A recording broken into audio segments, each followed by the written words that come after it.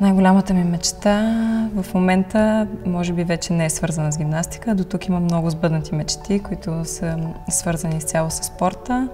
Може би не искам да казвам все още, защото не обичам да говоря за тези неща, обичам директно да действам.